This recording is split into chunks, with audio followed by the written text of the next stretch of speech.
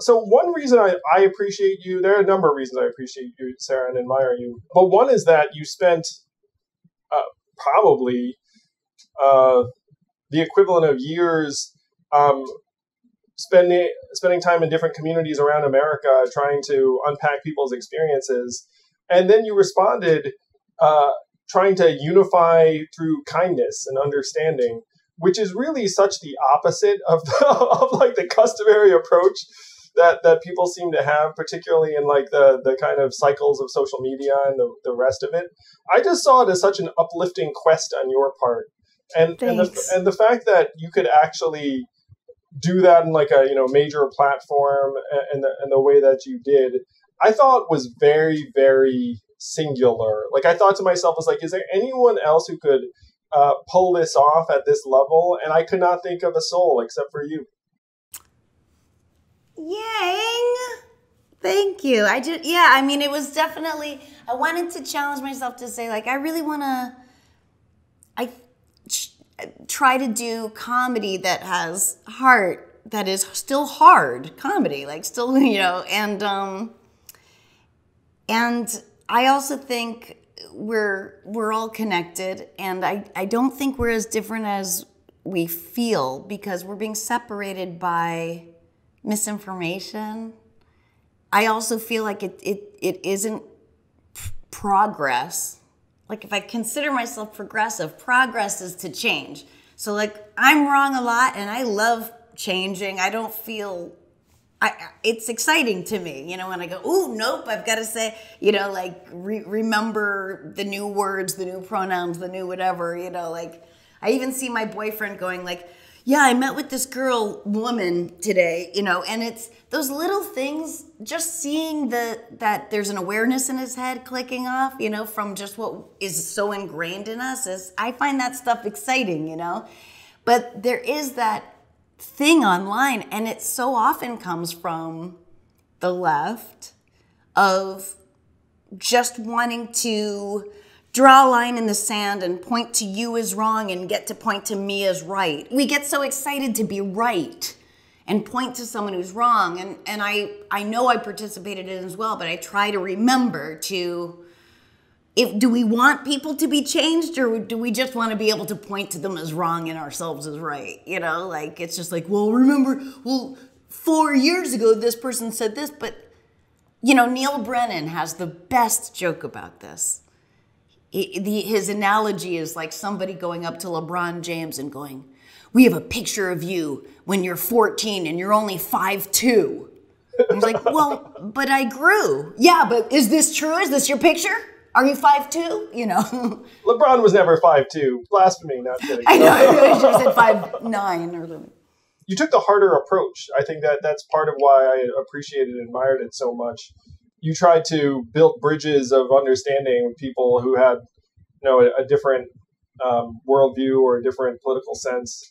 Uh, and i think we really needed that. Uh, we still need it.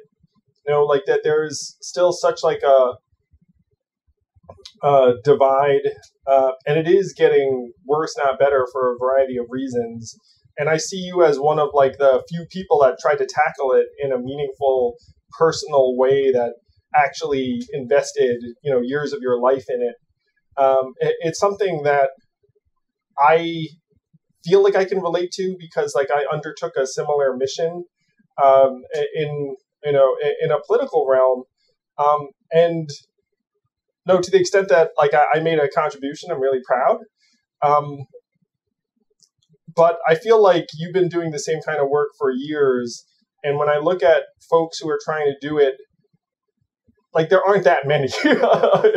like like it's not like a a huge legion uh, of, of, folks who actually are um, trying to understand people who have completely differing um, politics or, or worldviews. Yeah, and it takes so little to connect. I mean, you went from town to town and you talk to people and you connect. I always say, like, um, when friends go, I, I can't even talk to this part of my family. They're, you know, these Trump, Q, whatever, crazy conspiracy. And I go, uh, do they watch Walking Dead?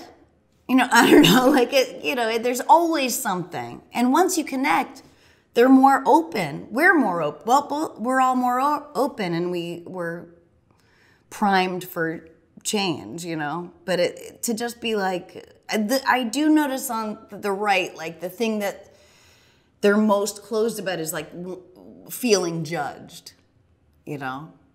Have you read uh, Jonathan Haidt's work? I feel like you would love it uh, if you haven't. No. Um, he, he wrote a book called The Righteous Mind that talks about the way that uh, conservatives and, and liberals have uh, different moral palettes. Uh, and I, I, think you would love it, where he, he talks about how there are um, six universal values. Uh, let's see if I can get this right. It's uh, caring, fairness, liberty, loyalty, authority, and sanctity.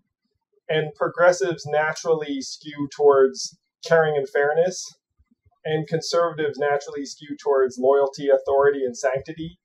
And then we construct liberty in different ways, either personally or, or societally. But look at loyalty and authority, they're so connected to fear. Oh, yeah. Conservatism corresponds to things like threat sensitivity and disgust reflex, where, where, where, like, if, if you uh, if you generally are like you know turned off by disgusting scenes or like uh, di- different types of uh, uh, even food, um, you're more likely to be conservative. Really? Yeah, and, and uh, appetite for novelty corresponds to liberalism, where if you just like new stuff, you're more likely to be politically liberal. I, I read a study that when you're in a state of fear, you no matter who you are, you make more conservative choices, and that's why you know um, the right uses fear. You know the, the caravan's coming or whatever they need to create to make their followers malleable instead of be curious, question things, be interested, fight that human fear against the unknown. You know.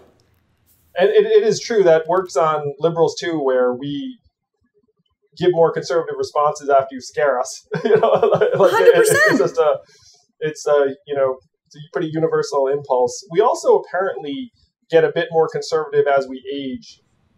Yeah. And we have to try to fight that though. Because you get set in your ways, and set in your ways means conservative. Yeah, it, it's um, I mean, you know, I, I looked at myself. It's like, I, you know, I feel like uh, that hasn't really happened to me as yet, but uh, who knows, man? You know, we're still young. I mean, it happens to me in that, like, all I want to do at night is like watch a Columbo and go to sleep. Yeah, I've become like old in that way. But when I hear like comics go, oh, we have to learn all these new words, or we can, I can't use this word, or I have to be sensitive to this topic, I can't say anything you know, I go, well, that's what old people are like. You know what I mean? Like, you can't embrace new things. You can't think of new words. You can't think of something else to say than, you know, like I- have used this a lot, this example a lot, but I used to defend saying gay. Oh, that's so gay. Because I, I, go, oh, I'm from the Boston area. It's I have gay friends. It's not, you know. And then one day I just heard myself and I was like, well, uh, you know what? I, I'm the guy who goes, What? I say colored. I have colored friends. You know, like, I'm him. And you're like, I don't want to be that person. Yeah, surely I have other words. I, I I'm a, I'm a, my job is words. I can think of other things in two seconds. And then, yeah, it's so odd that instinct to want to stay the same. Jonathan Haidt's research really um, opened my mind in a different way. Um, and when I traveled the country, like I, I, had an experience that did verify a lot of what you just said, which is like if you actually talk about the things that people want for themselves, their families, uh, the things they enjoy, like we, we have more in common than not. It's just that right now there are massive forces that actually, unfortunately, make more money uh, pitting us against each other. That's what it is. Clicks yeah, a, lo- a lot of it's clicks. Um, some of it's cable news and, and cable news ratings. Yeah. If you have a 24 hour news channel, that's not news. They have to fill content and they need to keep you to, you know, uh, through the commercial to come on the other side. It's that's entertainment.